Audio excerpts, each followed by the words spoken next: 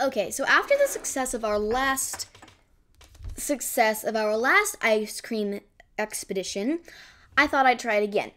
But this time I'd get a little bit more into the fall spirit. Pumpkin spice cream. So we used the Stash decaf pumpkin spice, and then the Harney and Sons tea pumpkin spice, and a little bit of hot cinnamon spice to give it a little bit more punch. Now, where did you get the recipe that you adapted? Right here. The original recipe was called vanilla custard ice cream. And the original recipe, I cut that in half and then I cut it in half again. And the reason that I knew how to do that was because my math teacher gave us a project to do in which we had to find a recipe and have it and show the original. So thank you, Mrs. Hartnett. So, uh, this book, I believe, is out of print, but we'll find the current edition and link it if we can down below. And we always this- try to link things. This recipe is by Margaret Gage in Roseboom, New York. Thank you, Margaret. So, you the original recipe says you need two cups milk, three fourths cup of sugar, one eighth teaspoon salt, two eggs beaten, two cups heavy whipping cream, and two tablespoons vanilla extract. And I went ahead and told you the original so that you can adapt it if you want to make this yourself. So, we didn't have both milk and whipping cream, so we just used whipping cream for both the milk We and added a little bit of milk to the whipping cream and brewed the tea in it so that it, we wouldn't get that We, we didn't have any milk.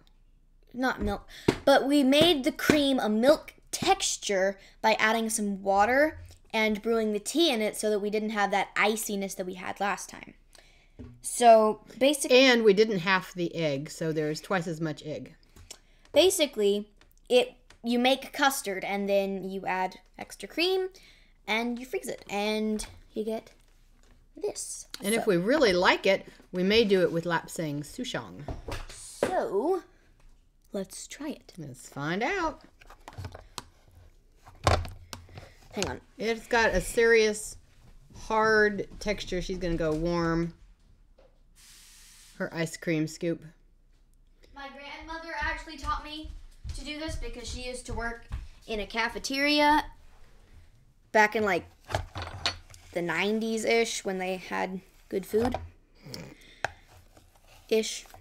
Look how nicely that actually looks like a scoop of ice cream. Sometimes your homemade ice creams don't really look like the store bought stuff, but this does. And then I'm giving daddy some. He won't be trying it on camera, but if he says anything interesting, we'll tell you.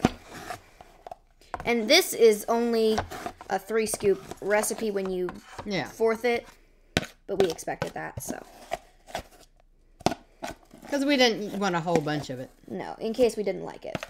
Oh, also, uh, there's monk fruit in it, right? Yeah. There's some sugar in it. Which is another reason I don't want a whole bunch of it. Okay, so here's daddy's. When you're making ice cream, you have to make it more flavorful because the actual coldness of it takes out some flavor. All right. So let's see how we did here. So the um the texture is very nice and Yeah, like this is cream. ice cream texture. The smell is highly vanilla because all of these have vanilla, cinnamon kind of things. And then she put vanilla in it too. Okay. It reminds me of butter pecan with a lot of vanilla. but and without the pecans, of course. Mm, without the pecans. But Ah. with this recipe, you could make butter pecan ice cream though. Yeah, if you stuck pecans in here, that would be pretty tasty. Really good. I think if we did it again, we might leave out the vanilla because we've got so much tea in it. And that what And she add did, some more tea actually. Like add more tea leaves and tea bags into the cream. What she did was treat the cream as if it was water and brewed because it has a custard Base. section, and so she just put the tea leaves into the custard section and then uh, strained out the leaves after brewing the cream as if it was water, And this is which made the custard. this, is is very rich. good. Um I would definitely do pecans if I ate pecans. Oh yeah. So we'll put the recipe as we did it down below Um, if you want to do this, I would recommend adding some pecans to this, but keeping the tea in there because the tea makes it almost pecany on its own. because um, this pumpkin spice tea from Harney, it really, it kind of always reminded me of pecan pie anyway. Or pumpkin, somewhere between pumpkin pie and pecan pie. Oh, there is some pumpkin pie in that one. So if you want to have ice cream instead of pie at Thanksgiving, you might do this. Um, Let us know if you did. Very rich. So how much tea did you get in there? well, about a serving of this one and a serving of this one, which is typical for So your a, a taste, teaspoon of each. about, and then one of these. And there was a total of one cup of cream. So mm-hmm. basically triple brewed. Yeah. So we like playing with our food, don't we?